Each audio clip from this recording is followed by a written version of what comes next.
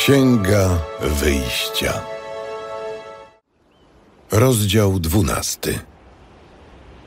Pan powiedział do Mojżesza i Aarona w ziemi egipskiej.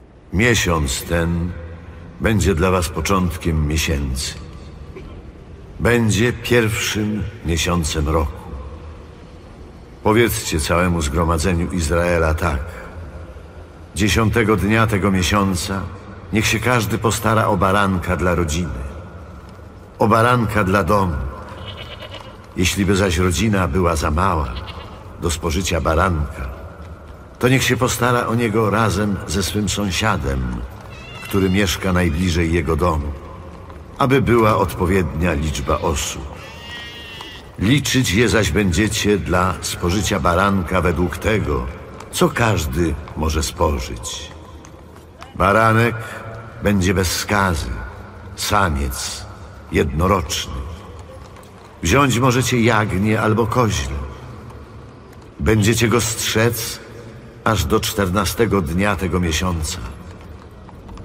A wtedy zabije go całe zgromadzenie Izraela o zmierzchu.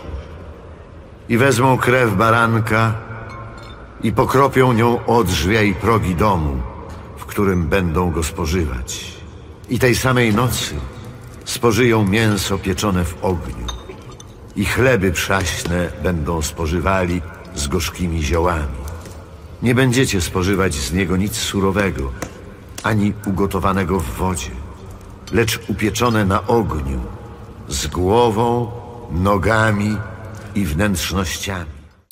Witam serdecznie na kanale Zakochany w Biblii, gdzie wspólnie zastanawiamy się nad tym, w jaki sposób możemy przestrzegać Boże przekazania w duchu i w prawdzie.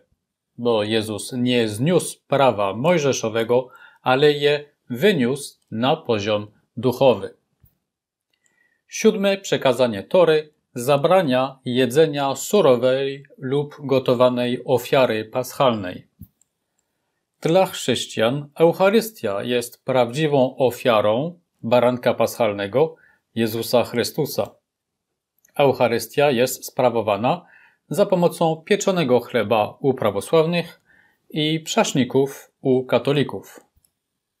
Czy w takim razie to przekazanie stało się niepotrzebne w Nowym Testamencie? Zapraszam do zgłaszania Waszych pomysłów w komentarzach do filmu na YouTube.